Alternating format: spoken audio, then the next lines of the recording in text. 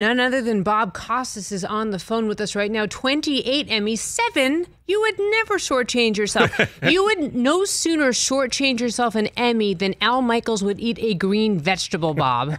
you know, that's a good point. But, Suzy, you have just given me insight into what my approach should be going forward for the rest of my career. Just select my greatest hits and let them play an extended version of that rather than me having to come on and try and think of something new to say. if we could all just pick like the 10 best things we ever did, our lifetime batting averages would be much higher. Here's my question What haven't you said yet? Let's think about that. I mean, with the amount of Olympics you've done, World Yeah. Series, Super Bowls, what haven't you talked about yet?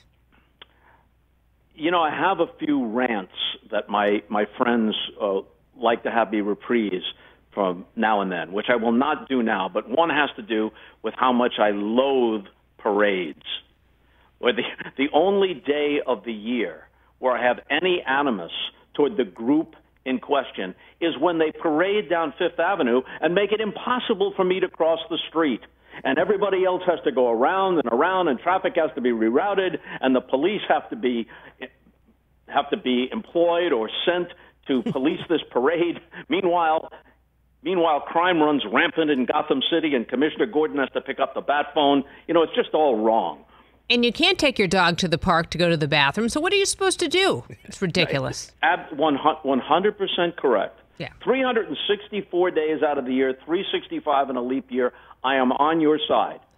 And The and a taxpayer expense. Parade and wear your silly costumes. I'm out.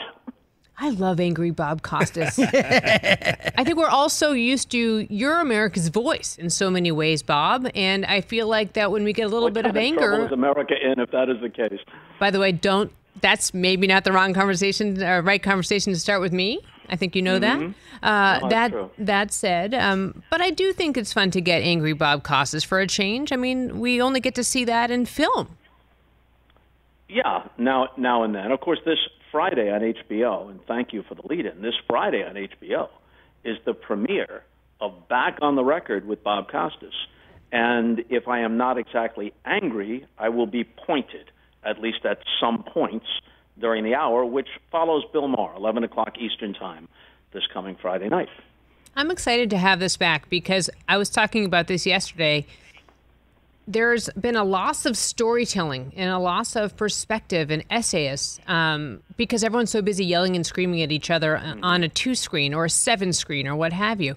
I'm really excited to have this back on the air, Bob, not only at HBO, but HBO Max. What should we expect and what are you looking forward to the most having this back in your saddle? Well, I'm only doing four a year. it's supposed to be a quarterly show. We got pushed back twice this year because of COVID, so now we'll get four in in 2021 by doing them in four consecutive months, July through October. But going forward, it'll be quarterly. Uh, I'm interested in quality rather than quantity. At this point, I don't want to have a show hanging over my head every week or every month. And we are not looking to duplicate or do better by degree that which is already out there. So it's not the same as Real Sports with Bryant Gumbel, which is the 60 Minutes of Sports and is great on its own terms. And it's certainly not the same thing as the debate shows that we see on a daily basis all over uh, the dial, the cable dial. Some of that is fine. Some of the opinions are insightful or humorous or interesting, but a lot of people are doing it already. So, will this be exactly what every sports fan most enjoys? No. But everything now is a niche, and HBO is, for all of its prestige, and there's plenty of it, and that's why I wanted to be associated with them. Again, they do things at the highest possible level, but it's still a boutique thing. People come to it uh, in lesser numbers than they come to the NBA Finals or the World Series or whatever it might be, or certainly than the Olympics, even during a pandemic. So we will find our audience, or they will find us, um, and it will be it will remind those who are old enough to remember of some of the things I used to do. It'll be a blend of commentary, of uh, interviews that will not be confined to three and a half minutes. There'll be some depth to it. And although the first show has only sports figures among uh, those appearing, in the past, especially on HBO, we had Springsteen on the show, we had Tina Fey and Seinfeld, and Chris Rock and J Lo was on the show, and Clooney and Hanks were on the show. If they like sports and they have something to say uh, about it, then we can branch out beyond sports with them. So that'll that'll be part of it. I'm not trying to reinvent the wheel. The name of the show, Suzy, tells you that it's back on mm-hmm, the record. So mm-hmm. Same same idea, update a little bit, and hopefully I haven't lost my fastball. I expect greatness, uh, especially from Ross Greenberg. So there you go. I w- Yep. would love to know who to look forward to watch on on this coming Friday edition. On the first show, we have Charles Barkley, and he will be given uh, all the room he needs. Um, Aly Raisman, which is topical uh, because of her outspokenness about the uh, sexual abuse scandal in USA Gymnastics, and also because of what's happening right now at the Olympics, and especially today with the announcement that Simone Biles has withdrawn at least from the team competition. We'll see what happens uh, on the individual stuff, and we'll know about that because the individual competition starts Thursday, and we're on on Friday. So Aly is a particularly uh, timely guest, and then you know, like Bill Maher, uh, we'll have more in-depth interviews than Bill has, but we'll have a panel like he has. So we'll have a panel of people, uh, and we'll toss out whatever seems topical or appropriate to talk about given the composition of the panel, and then I'll conclude it with an essay or commentary of some kind, and then it'll be midnight, and I'm not sure what will be on HBO, but I'll know by Friday. I'd love to hear your perspective, Bob Costas, on Simone Biles today and about her openness, uh, about how she's feeling mentally on this world stage. What are your thoughts in that you've covered n- pretty much every important Olympian that there is? What were your thoughts in watching her and watching her perform this week? Well, she has every right to her own feelings and her own decisions, um, the particulars of which I only understand from a distance. It's very clear that her teammates love and respect her, and that she will be there uh, to cheer them on, even if she doesn't decide to compete in the individual events. Um, she's a very bright young woman. She understands at some level what comes with the territory and she's participated in it willingly and benefited from it. She'll benefit financially, already has. Um, there's a goat meme, which she has associated with herself, and she certainly is the goat of her particular sport. Uh, so she accepted being celebrated. She accepted being, with all due respect to Katie Ledecky and others, the face of this particular American Olympic team. She accepted all that probably knew at some level what came with it. And at one point, that balance was worth it to her. But perhaps no one could have anticipated, uh, including Simone herself, all of the emotional pressure that comes with it. Where she is expected not just to excel, but to be perfect. Uh, and each individual is going to respond to that in a different way. Um, so I, I don't. I have no uh, reason to dispute or question her reasons or, or her decision. It, I sympathize with, with everything that goes that goes into it, but there are both benefits and drawbacks to being in Simone, Simone Biles' position. I'm sure she understands that. Bob Costas joins us here on The Rich Eisen Show. Back on the record with Bob Costas premiering Friday, July 30th at 11 p.m. on HBO and on HBO Max.